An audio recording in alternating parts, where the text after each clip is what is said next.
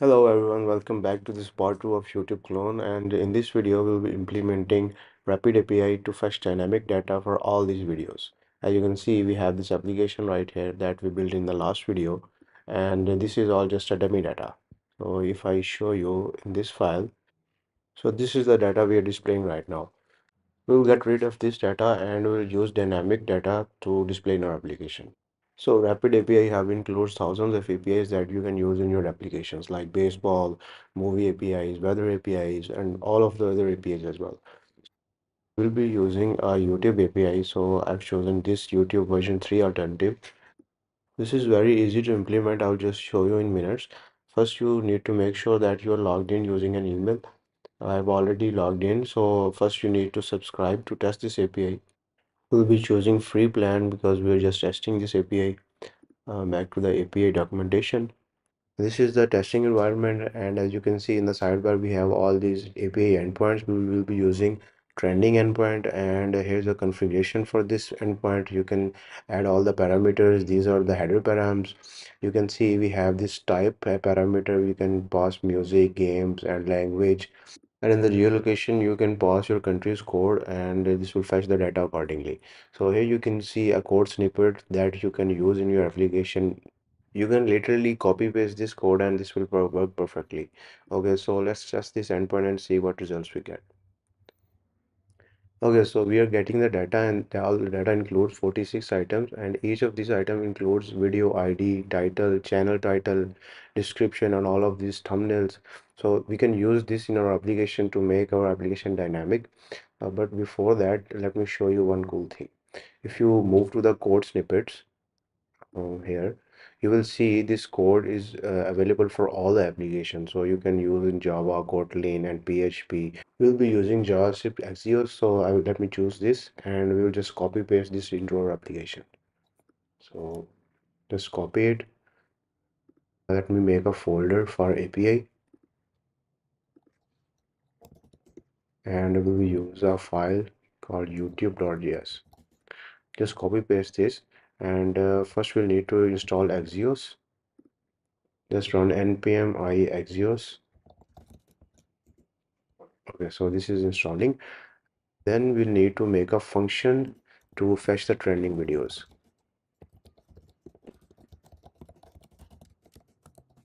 And we can pass the, all the dynamic parameters in this function. Uh, let's copy this into our function and Axios is installed so let's close this. And uh, you can see the best practice is not to use your API keys directly into your API calls. So let's copy this rapid API key and move it to our constants file. Let's create a variable rapid API key. And we will import this into the YouTube file to use this API key. Okay, so now we need to pass all the parameters in this API endpoint as well. Just choose the spread operator and use params like this. Okay, so uh, we need to make this function async so that we can uh, use the await keyword. So let's make this function async and then let's get the response from this API. Um, but before that, let me just wrap it in a try catch block. So if we get any errors, we'll just console log this to see if you are getting any error.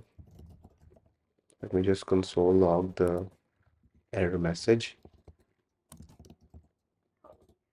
dot message. Okay, so we will just return an empty array if we got any error. Then we uh, need to get the response from this API.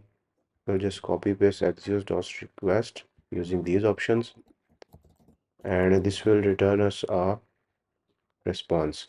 And uh, in Axios you can get the data from response.data so we'll be returning response.data okay.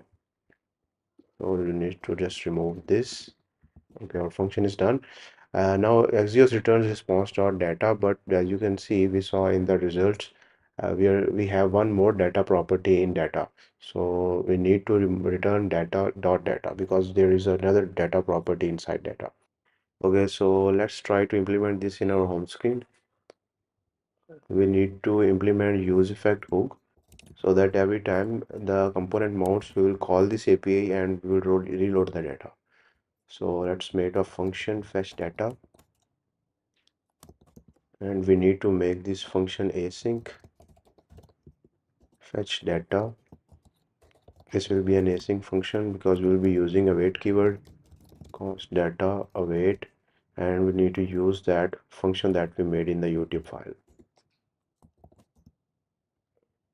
Now let's try to console log the first item and see what data we have.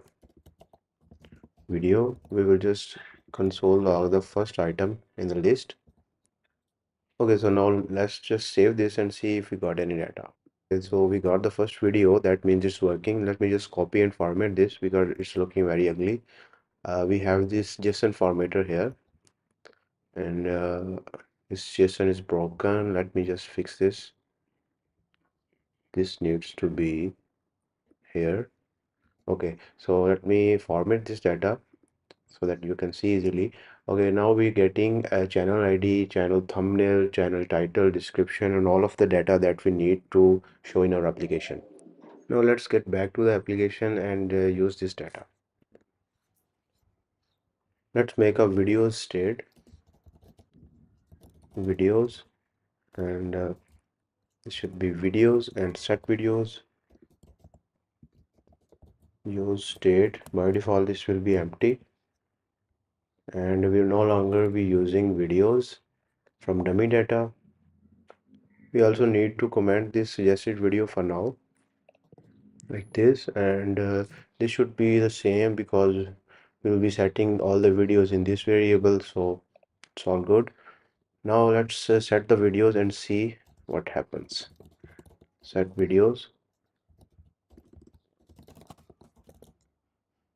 so now as you can see we are already getting the data and this is all dynamic data coming from the rapid api we won't be making these shorts dynamic because i didn't find an api endpoint for shorts in the api that we are using. So this will be using dummy data but for all the other videos we'll be using dynamic data. So now we need to fix this duration because this is uh, uh, not fetching or we're just using the different property and we also need to make this thumbnail work. Okay so let me just move to the video card here. And uh, we're using the video duration but let's see what we're getting in the API data. Okay we are getting uh, length text. So let's use that. And this text here. And now we're getting the durations. Now let's see uh, how this avatar is going to work. And for that we have this channel thumbnail so let's just copy this channel thumbnail and copy this into our image like here. Now we are displaying the channel thumbnail as well. Now our implementation is done but uh, we need to make the channel titles a little short because some of the title names are too big that they're one over two lines like this one here. So we need to fix that. Let's make a condition here so that if the channel title goes over 20 characters we will just slice it and it will show the first 20 characters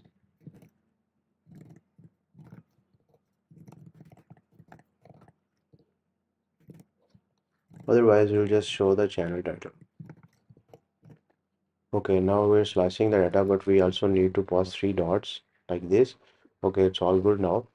Now the second thing that we need to fix is the views.